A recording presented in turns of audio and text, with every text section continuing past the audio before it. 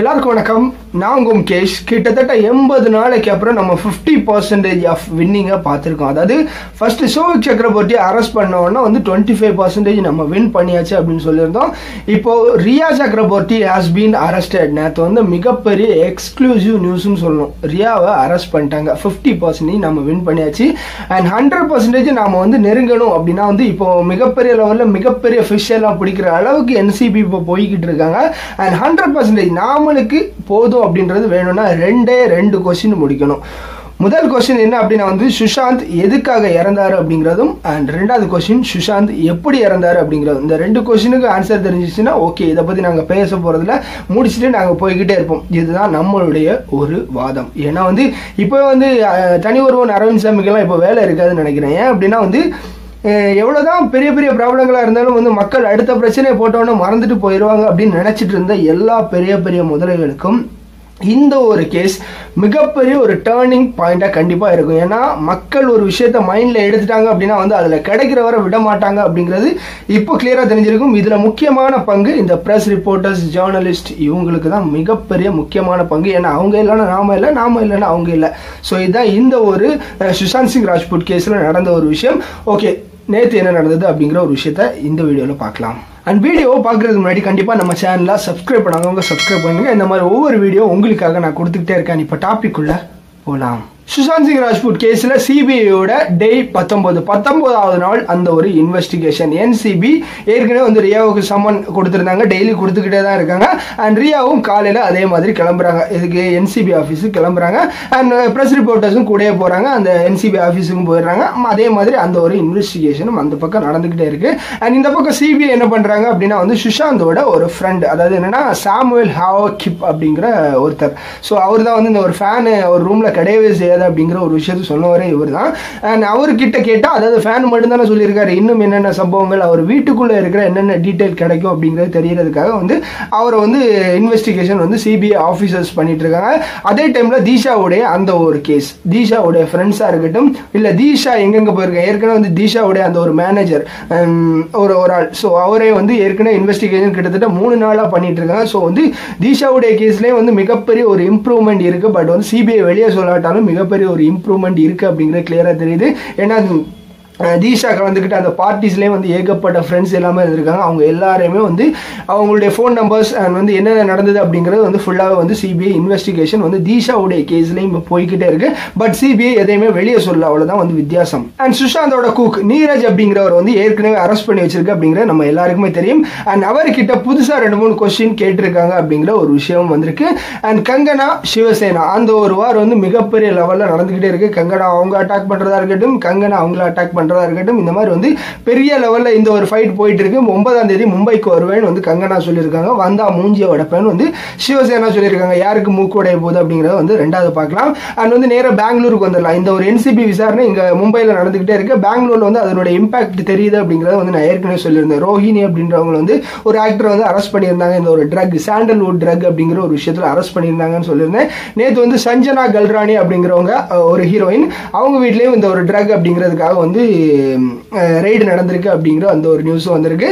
And இப்போ ஃபுல்லாகவே ரியா சக்கரவர்த்தி தான் நேற்று வந்து ஃபுல் ஹைலைட் அவங்க என்ன அப்படிங்கிற ஒரு விஷயத்தை பார்க்கலாம். Day nineteen evening four thirty Rhea Chakraborty has been arrested அப்படிங்கிற ஒரு நியூஸ் வந்து பை என்சிபி அப்படிங்கிறது வந்து ஃபுல்லாக எல்லா நியூஸ்லேயும் வருது. அதாவது என்சிபி எந்த இன்ஃபர்மேஷன் மூலமாக இந்த ஒரு ரியா சக்கரவர்த்தி அரெஸ்ட் பண்ணியிருக்காங்க அப்படின்னா வந்து முதல் விஷயமே ஷோவிக் சக்கரவர்த்தி தான். ஷோவிக் சக்கரவர்த்தி வந்து ஃபுல்லாகவே வந்து தன்னுடைய அக்கா தான் இந்த எல்லாத்துக்குமே காரணம். அதாவது இந்த ஒரு ட்ரக் அப்படிங்கிறது வந்து நான் வாங்குறதுக்கும் வந்து அவங்க தான் வந்து எல்லாமே சொல்லிக் கொடுத்தது அதை யூஸ் பண்ணது அவங்க தான் சொல்லிக் கொடுத்தது. அண்ட் வந்து காசும் அவங்க தான் அந்த ட்ரக்குக்காக கொடுக்கறது அப்படின்னு வந்து ஷோவிக் சக்கரவர்த்தி அவரோட அந்த ஒரு வாக்கு மூலமாக இருக்கட்டும். கிட்டத்தட்ட அந்த டிலேட் பண்ணப்பட்ட எழுபது சேட்ஸ் வாட்ஸ்அப் சே- வாட்ஸ்அப் சேட்ஸ் இதுதான் வந்து முக்கியமான ஒரு அம்சம்னு சொல்லணும். வாட்ஸ்அப் சேட் அது மூலமாகவும் அண்ட் அந்த கைது பண்ணப்பட்ட ட்ரக் பெட்லர்ஸ் அவங்க எல்லாரோடையும் வந்து ரியா சக்கரவர்த்தி வந்து டைரக்ட் கனெக்ஷனில் இருந்த ஒரு காரணத்தினாலையும் அண்ட் வெளியே வராத ஏகப்பட்ட காரணங்கள். அந்த காரணங்கள்னாலே வந்து இந்த ரியா சக்கரவர்த்தி என்சிபி அரெஸ்ட் பண்ணியிருக்காங்க அப்படிங்கிற அந்த ஒரு நியூஸ் வருது. அண்ட் அதுக்கப்புறம் வந்து அரெஸ்ட் பண்ணதுக்கப்புறம் வந்து கோர்ட்டில் வந்து ஆஜர் பண்ணும் ஸோ கோர்ட்டில் ஆஜர் பண்ணுற போகிற அந்த ஒரு டைம்லேயே வந்து பெயிலுக்கு ரெடி பண்ணுறதுக்கு வந்து ரியா சக்கரவர்த்தியோட அந்த ஒரு லாயர்ஸ் ட்ரை பண்ணாங்க. பட் வந்து அந்த கோர்ட் வந்து க்ளோஸ் ஆகிட்டு ஸோ வந்து வீடியோ கான்ஃபரன்சிங் மூலமாக இதை பண்ணலாம் ஏன்னா வந்து கஸ்டடியில் எடுக்கணும். ரியா சக்கரவர்த்தியை கஸ்டடியில் எடுக்கணும். ஏற்கனவே இருக்கிறவங்கள வந்து கிட்டத்தட்ட அஞ்சு நாளோ ஆறு நாளோ வந்து கஸ்டடியில் எடுத்தாங்க. பட் ரியா சக்கரவர்த்தி முக்கியமான ஒரு ஆளில் அதனால் வந்து பதினாலு நாள் கஸ்டடியில் எடுக்கணும் அப்படிங்கிறதுக்காக வந்து வீடியோ கான்ஃபரன்சிங் மூலமாக அது நடந்துக்கிட்டே இருக்குது அண்ட் அந்த டைமில் பெயிலையும் கொண்டு வராங்க. பட் வந்து பெயிலெலாம் ஒன்றும் தர முடியாது. நீங்கள் வந்து பதினாலு நாள் வந்து ரிமைண்ட் ரிமாண்ட் பண்ணிக்கோங்க அப்படிங்கிறது வந்து அந்த ஒரு கோர்ட்டு சொல்லிட்டாங்க. ஸோ அதனால வந்து இவங்களுக்கு பெயிலும் கிடைக்கல. அதுக்கப்புறம் அந்த ஒரு ஃப- இது முடிஞ்சதுக்கப்புறம் நேரம் எங்கே கூட்டு போகிறாங்க அப்படின்னா வந்து ஜியான் ஹாஸ்பிட்டல் அவங்களுடைய அந்த ஒரு மெடிக்கல் செக்கப்புக்காக ஜியான் ஹாஸ்பிட்டலுக்கு கூட்டு போகிறாங்க அங்கே வந்து கோவிட் நைன்டீன் கொரோனா வைரஸோட டெஸ்ட் எடுக்கிறாங்க. கொரோனா வைரஸ் அவங்களுக்கு இல்லை அப்படிங்கிறது வந்துடுது அதுக்கப்புறம் வந்து நாளைக்கு பத்து மணிக்கு இவங்க ஜெயிலில் அடைக்கப்படுவாங்க அப்படிங்கிற அந்த ஒரு நியூஸ் வந்திருக்கு. ஸோ ப பத்தாம் தேதி இது பத்து மணிக்கு ஜெயிலில் அடைச்சதுக்கப்புறம் எப்படி வந்து இந்த ஒரு இன்ட்ரோகேஷன் நடக்கும் அப்படிங்கிறது வந்து எல்லாருடைய கொஸ்டினாக இருக்கு. ஒருவேளை என்சிபி சிபிஐ ஆஃபீஸர்ஸ் அங்கே போவாங்களா? இல்லை மறுபடியும் அங்கே ஜெயிலில் இருந்து இங்கே அங்கேயும் போயிட்டு வருவாங்களா அப்படிங்கிறது கிளியராக தெரியல. நாளைக்கு என்ன நடக்கும் அப்படிங்கிறத பார்க்கலாம்.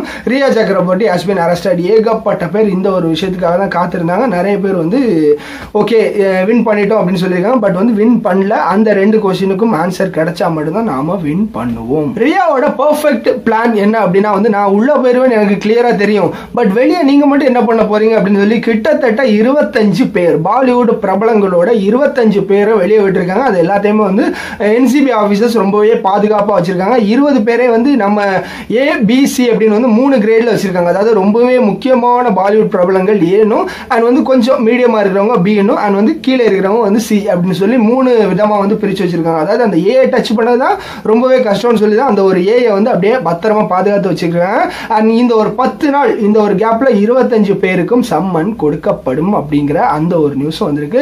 பத்து நாளில் வந்து இந்த ஒரு பாலிவுட் பிரபலங்கள் எல்லாருமே வந்து ஆடி போயிடுவாங்க அப்படிங்கிறது கிளியராக தெரியுது. பார்ப்போம் யாருடைய பேர் என்னென்ன வருது அப்படின்னு ஏற்கனவே வந்து அவங்க எல்லாருமே வந்து உஷாராயிருப்பாங்க. அவங்க வீட்டில் இருக்கிற ட்ரக்காக இருக்கட்டும் இல்லை யூஸ் பண்ண ட்ரக்குக்காக வந்து நான் யூஸ் பண்ணல அப்படின்னு வந்து ஏதாவது ஏதாவது டீட்டெயில் எடுத்து வைக்கிறதா இருக்கட்டும் இந்த மாதிரி விஷயங்கள் எல்லாத்தையுமே வந்து போய் கிளியராக பண்ண ஆரம்பிச்சிருப்பாங்க. பட் நம்ம ஆளுங்க விடுவாங்களா? அவங்க என்னென்ன வாட்ஸ்அப் சாட்லாம் டிலேட் பண்ணியிருக்காங்க அப்படிங்கிறதெல்லாம் ஃபுல்லாக தூக்கிடுவாங்க. ஸோ பத்து அந்த இருபத்தஞ்சு பேர் யார் அப்படிங்கிற ஒரு விஷயத்த பார்க்கலாம். நேற்று நடந்த இன்னும் ரெண்டு விஷயம் என்ன அப்படின்னு கேட்டிங்கன்னா தீஷாவுடைய கேஸ் வெளியே வந்திருக்கு அப்படிங்கிறத நான் சொல்லியிருந்தேன். அந்த தீஷாவுடைய கேஸ் அதாவது ஏற்கனவே நேற்று சொல்லியிருந்த வீடியோவில் வந்து சுஷாந்த் சிங் ராஜ்புட் அவருடைய பேரே கூகுளில் அதிக தடவை வந்து சர்ச் பண்ணி பார்த்துருந்தாரு அப்படின்னு சொல்லியிருந்தேன். ஸோ அந்த ஒரு விஷயத்துக்காக அதாவது ஒரு லாயரோட கனெக்ஷனில் இருந்தேன்னு சொல்லல அது இந்த லாயர் தான். அதாவது சுஷாந்தோட அந்த ஒரு லாயர் தான். அந்த ஒரு லாயரை வந்து தூக்க போகிறாங்க அவர்கிட்ட அந்த ஒரு தீஷா அந்த எட்டாம் தேதி தீஷா இறந்ததுக்கப்புறம் அப்புறம் உங்க கூட சுஷாந்த் என்னென்ன பேசினாரு அப்படிங்கிற ஒரு விஷயத்தை கேட்கறதுக்காக வந்து அடுத்தது அந்த லாயரை கார்னர் பண்ண போறாங்க அப்படிங்கிற அதாவது சிபிஐ வந்து கார்னர் பண்ண போறாங்க அப்படிங்கிற அந்த ஒரு நியூஸ் வந்திருக்கு. அடுத்ததாக எங்க போறாங்க அப்படின்னா வந்து பாவ்னா ஃபார்ம் ஹவுஸ் அதாவது சுஷாந்தோட அந்த ஒரு பண்ணை வீடு. அங்கே தான் வந்து ரியா சக்கரவர்த்தி சுஷாந்துக்கு தெரியாமலே நிறைய பார்ட்டிஸ் அரேஞ்ச் பண்ணுறதா இருக்கட்டும் ட்ரக் பார்ட்டிஸ் அரேஞ்ச் பண்ணுறதா இருக்கட்டும் இந்த மாதிரி விஷயங்கள்லாம் பண்ணியிருக்காங்க. அந்த ஒரு பாவுனா ஃபார்ம் ஹவுஸ் அந்த ஃபார்ம் ஹவுஸில் போய் வந்து அடுத்த இன்வெஸ்டிகேஷன் பண்ண போகிறாங்க அப்படிங்கிற அந்த ஒரு நியூஸும் வந்திருக்கு.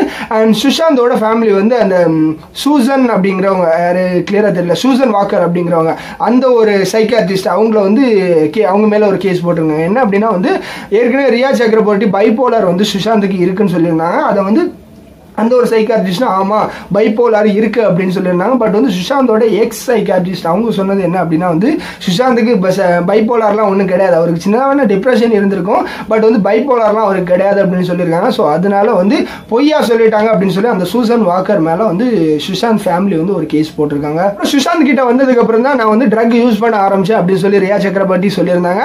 அண்ட் ரெண்டாயிரத்தி பதினேழுல இருந்தே இந்த ஒரு ரியா சக்கரவர்த்தியோட அந்த ஒரு ட்ரக் சேட் இருக்கு அப்படிங்கிற ஒரு காரணத்தினால அதுவும் பொய் அப்படிங்கிறது தெரிஞ்சிருச்சு. அதுக்கப்புறம் வந்து ஒரு சிகரெட்ல வச்சு ரியா ச- இது சுஷாந்த் வந்து அந்த ட்ரக் அடிப்பாரு அப்படின்னு சொல்லியிருந்தாங்க. ஆக்சுவலா அந்த ஒரு சிகரெட் அடிக்கிறது இந்த ஒரு ரியா சக்கரவர்த்தி தான். இந்த மாதிரி வந்து ரியாவுடைய பொய்களுக்கு எல்லாத்துக்குமே வந்து ஏகப்பட்ட ஆதாரங்கள் வந்துகிட்டே இருக்கு. அண்ட் அடுத்தது என்ன இன்ட்ரோகேஷன் நடக்கு அப்படிங்கிறத பார்க்கலாம். திஷாவுக்கும் சுஷாந்துக்கும் என்ன லிங்க் என்ன அந்த கேஸோட லிங்க் அப்படிங்கிறது வந்து இன்னும் கூடிய சீக்கிரமே வெளியே வரும். அந்த இருபத்தஞ்சு ஃபிஷ் எது அப்படிங்கிறத பார்க்கலாம். அண்ட் அடுத்த வீடியோவில் உங்கள் எல்லாரையும் சந்திக்கிறேன். அண்ட் எந்த வீடியோ பிடிச்சிருந்தா கண்டிப்பாக லைக் பண்ணுங்க ஷேர் பண்ணுங்க. அண்ட் உங்களுக்கு என்ன தோணுதோ கண்டிப்பாக கமெண்ட்ல லீவ் பண்ணுங்க.